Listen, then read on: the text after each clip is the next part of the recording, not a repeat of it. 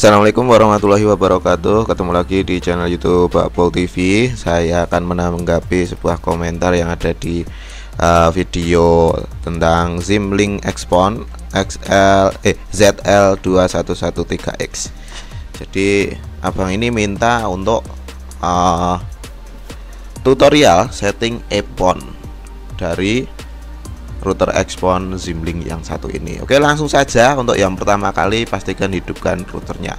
Yang kedua, kita uh, konekkan ke WiFi-nya. Kita konekkan sandinya 1 2 3 4 5 6 7 8. Itu sandinya defaultnya.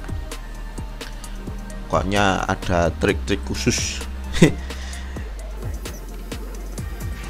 Oke setelah connect langsung saja kita masuk ke dashboardnya atau interface-nya. Kita ketikkan seperti ZTE lur. Jadi ini alamatnya. 192.168.1.1.1 Oke. Nah di sini jangan sampai salah.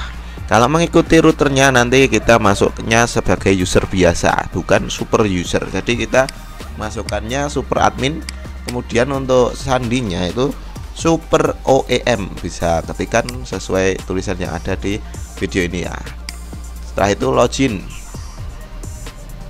Nah jadi untuk uh, antara Epon dan Gpon kalau versi Zimlink ini dia secara otomatis memilih working modenya. Jadi otomatis akan Epon atau Gpon mengikuti OLT nya jadi nggak perlu bingung ya kita langsung setting saja untuk one nya one itu uh, untuk akses ke sumbernya.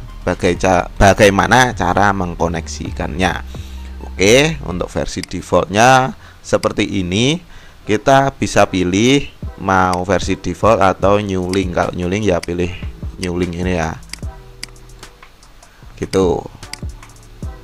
Biar lebih enak kita pakai yang defaultnya aja. Jadi nanti kita nggak perlu menghapus. Untuk yang pertama admin status kita enable. Kemudian enable VLAN. Ini kalau kita pakai koneksi VLAN di servernya atau di mikrotiknya mungkin ya. Kita masukkan VLAN-nya di sini. Karena tutorial kali ini saya akan mengikuti sistem yang ada di server saya. Jadi saya nggak mengaktifkan VLAN jadi ini opsional ya. Lalu untuk channel mode ini kita bisa memilih bridge IPOE PPPoE atau 6RD jadi ada empat mode kalau di Zimlink ini. Bridge itu untuk uh, koneksi bridge ya kayak semacam switch atau penerima gitu ya. Jadi nanti LAN-nya bisa dikoneksan ke device lain. Begitu untuk versi bridge atau uh, koneksi hotspot mungkin atau apalah. Tuh versi bridge terus IPOE ini untuk koneksi the IP jadi mau DHCP atau dinamik lalu ada fix IP terus PPPoE ya tinggal isi nama username dan password settingannya dari servernya. Lalu di sini saya akan pilih IPOE karena akan saya pakai mode statik. Lalu di sini enable NAP ini bisa dicentang. Lalu connection type ini kita pilih internet. Terus kita scroll ke bawah ya. Ini settingan saya akan saya pakai static IP nah di sini jangan lupa IP protokolnya pilih IPv4 disesuaikan ya. Lalu type nya ini mau dinamik atau statik. Ya saya pakai statik jadi fix IP ya pilih fix IP lalu lokal IP lokal IP address ini kita masukkan IP ya akan kita jadikan tujuan dari uh, router ini akan saya isikan dulu. Ini versi saya bisa disesuaikan dengan sistem yang ada di kalian. Terus untuk remote IP address ini adalah gateway-nya. kita isi gateway-nya ya lor lalu sub, uh, subnet mas. Ini 24 ya. 255 255 2550 ini udah defaultnya. Lalu untuk primary DNS server ini juga wajib diisi. Bisa pakai DNS Google. Kalau versi saya seperti ini defaultnya. Lalu apply change. Oke lalu kita lihat apa sudah terkoneksi. Kita tunggu.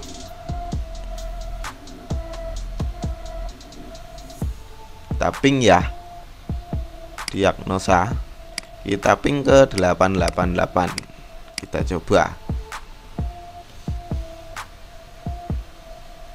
Oke reply ya berarti sudah terkoneksi.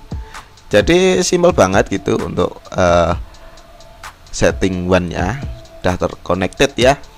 Lalu setelah setting one di sini kita akan setting nama wifi tentunya nama wifi tentunya ya lalu kita masuk ke WLAN nah, di sini kita bisa memilih bandnya. Secara default B, G plus N jadi semua bandnya bisa uh, masuk. Kita bisa memilih sesuaikan. Kalau saran saya ya saran sesuai defaultnya. Terus modenya AP kalau mau multi SSID atau multi nama WiFi ya tinggal multiple AP kita isi, eh, isikan di AP1 enable setting band nama kemudian data rate kemudian broadcast SSID nya mau dipublish atau tidak dan WMM lalu relay blocking dan sebagainya karena kebetulan saya hanya pakai satu SSID ya langsung basicnya aja di sini SSID-nya kita ganti di sini ya. Saya akan coba tes wifi Zimlink. Terus channel width-nya kita pilih yang 20 saja. Jangan 40 atau lainnya. Saya biarkan 20 MHz karena sesuai pengalaman di lapangan itu terbaik ada 20 MHz kawan-kawan.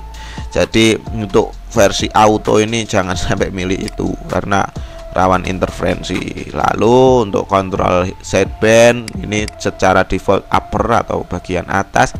Lalu channel numbernya kita pilih dan kita harus tentukan. Ini tutor dari saya jadi eh, trik rahasia.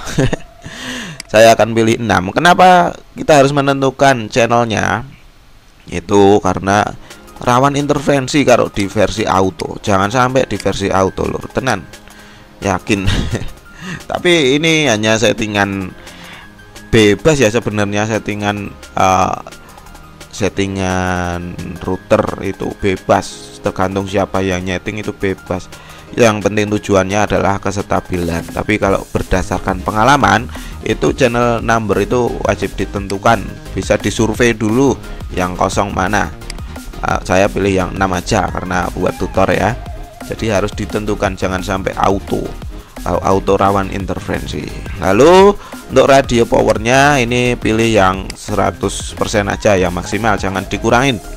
Versi saya jangan dikurangin lor karena menjaga kestabilannya biar sinyalnya kuat gitu ya. Terus associate client di sini kita bisa melihat siapa saja yang terkoneksi di uh, router tersebut. Jadi secara live kita bisa merefreshnya.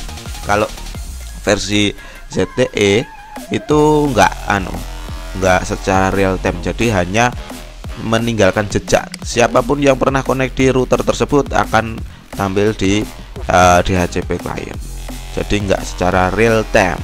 Kemudian di sini ada enable universal repeater mode. Ini di uncheck ya karena kita akan menggunakan sebagai router biasa router one biasa. Kita apply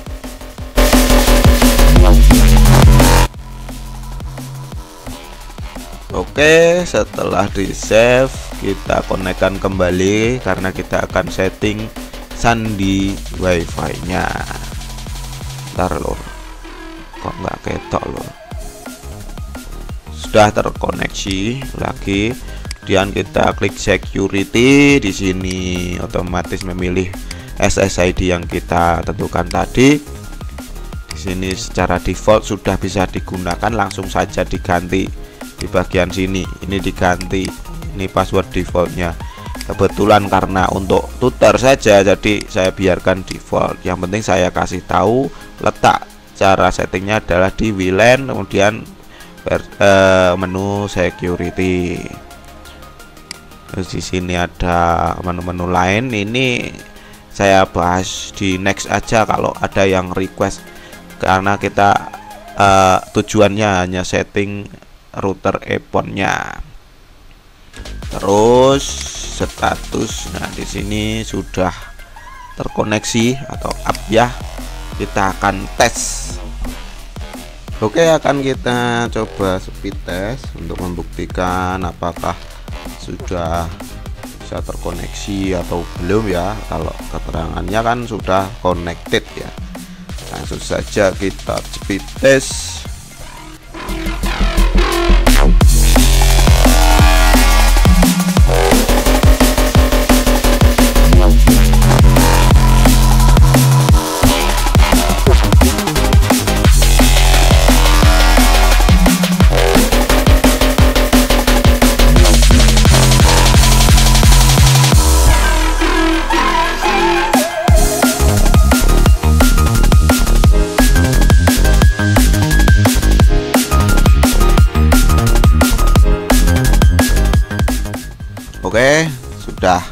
bisa ya jadi seperti itu untuk tutorial setting epon Dezimbling AZL 2113X ya.